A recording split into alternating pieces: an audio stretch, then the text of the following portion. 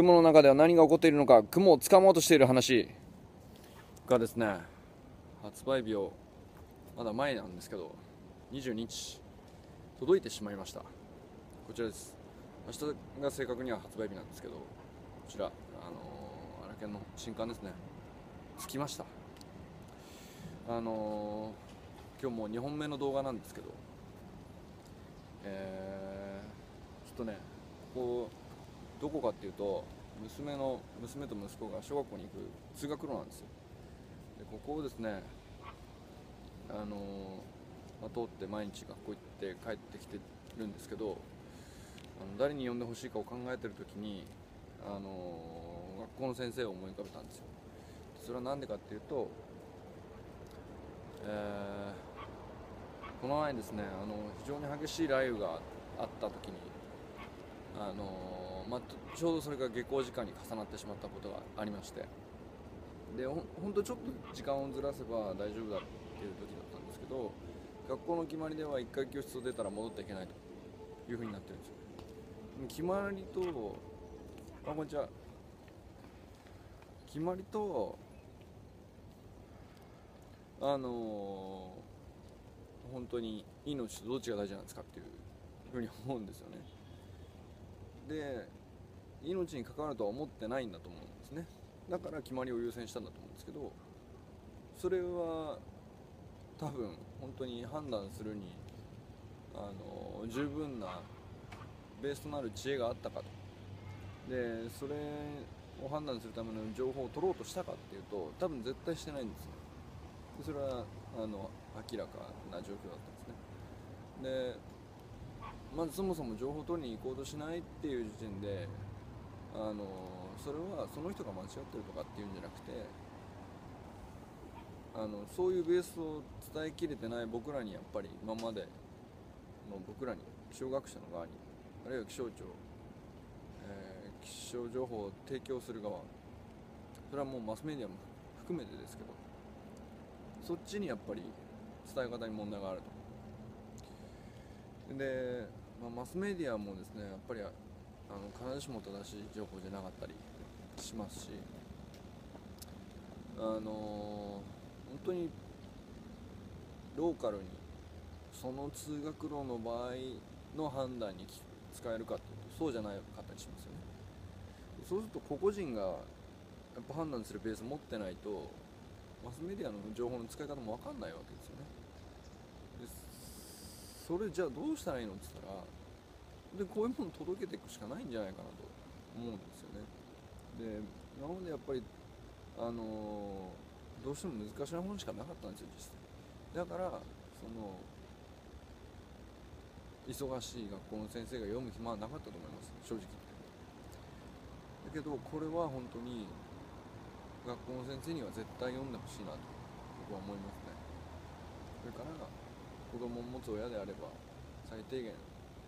子供にどういうふうな指示をすればいいのかっていう最低限の判断すべき時が来ると思うんですけどそしたらあの自分が興味天気に興味あるかないかっていうことと別としてですねあの最低限のベースとしてやっぱりこれ持っといてほしい。本気で思うんでだからあのこれだけ本気になってるわけですね。でそれが本当にこれなら今度こそって届くと思うんです。本当に手にしてもらったらあのこの222枚のイラストほとんど学研漫画のレベルで読めますから絶対読めるんですよ。であの分かりやすいだけじゃなくて楽しいんですよ。楽しいから読めると思うんですけど本当にこれが作りたかったんですよ僕は。僕も2冊書いてきましたけどあのこれをずっと目指してたでこれは今回の荒木健太郎の本がこれ究極です。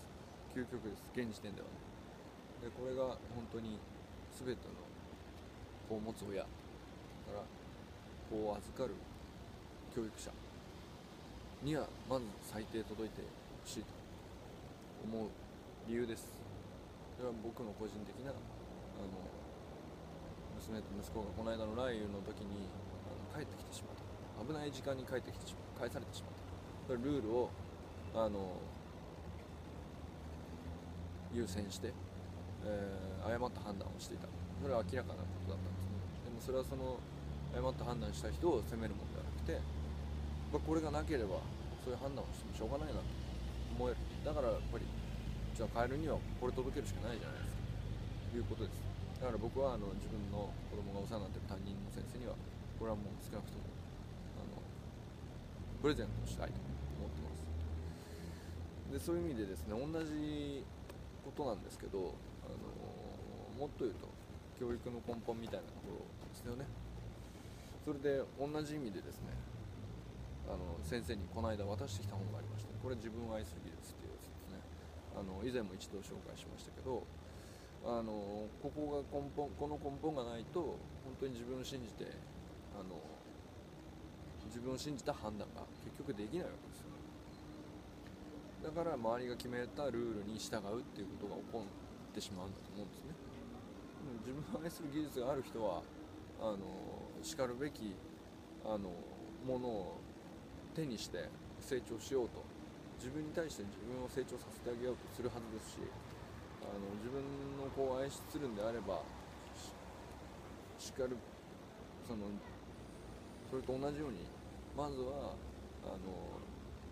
自分を大事にしなければその子を愛せないわけですから。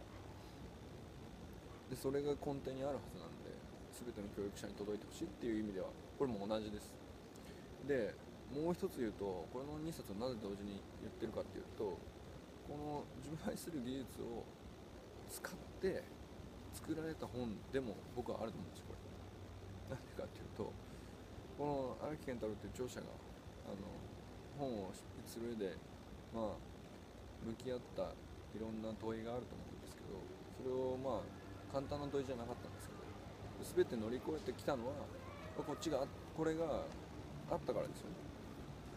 あの徐々に手にしたと思うんですけどそういうところが結果的にはある。いう、まあ、2冊のつながりについて、えー、今日はですねお届けしました。ということでですねあの、まあ、まず教育に携わる方に全ての人に読んでほしいという意味でこの2冊共通のものとしてあの改めて僕のお願いです。2冊ともですね自分を育てると。大事な自分を育てるという意味で必ずあのまず手に取って見てほしいなと思います。それでは。